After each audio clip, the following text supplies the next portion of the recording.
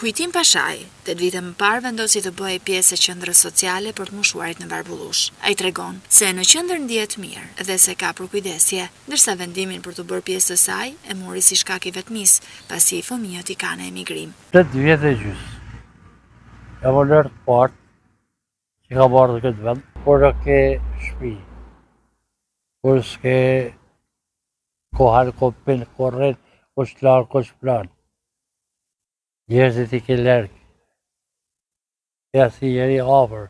Po bën halli të lodhet problemet detyrojnë me ardh n'këtë vend. Kujtimi thotë se ka punuar gjithçka në jetë, por përfundimi i tij është i njëjtë me nëntëmbëdhjetë të moshuarit e tjerë që jetojnë në këtë qendër. Punu aq shumë sa Të vështirë me punu kush. Pra po dhimi këtu. Gëzimi më i madh për të, janë nipat dhe mbesat, e teksa i sheh në telefon, urimet, prej gjyshi, i burojnë nga zemra.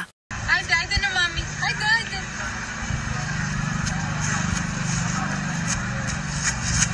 Kujtimi ka një mesazh, veçanërisht për të rinjtë, mos i braktisni prindërit dhe as gjyshërit. Televizor dalin për shtatë sojt, e du nanën, e du babën, i dora tane, adhe e këtej.